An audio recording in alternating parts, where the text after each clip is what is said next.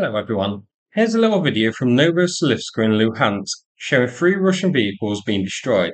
These are tanks, a T-72B, a T-90A and a T-72B3. All of these tanks are seen getting hit by drones. The T-90A is the biggest prize here. I'm actually surprised to see one as I heard Russia was focusing on modernising the older T-90 models to T-90M standard. So I thought these would have been withdrawn for that to happen. These vehicles were all stationary when they were hit by the drones, so this was a case of Ukraine hitting already disabled and abandoned vehicles in order to prevent Russia from potentially recovering them and putting them back into service. So let's have a look at where this took place. First, I want to clarify these weren't all part of the same failed push.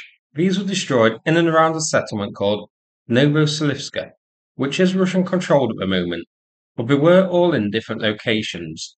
So this wasn't a big armoured push being destroyed, but rather three tanks carrying out separate operations. So at the top was the T-72B, south of Novoselivske. We have the T-90A next, further down, which was in the field, and at the very bottom, also in the field, a T-72B3.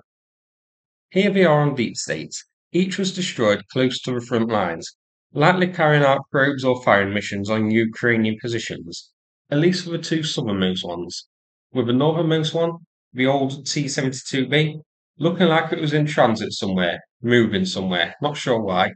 So, three tank losses all around the same settlement, and the source that uploaded it says these are all from the same day.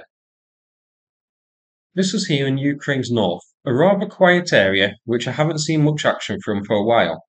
Maybe this little burst of activity here is to test how well defended it is in preparation for a Russian push.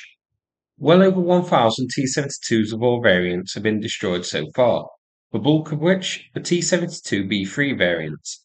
As for the T-90A, 38 are upon so far.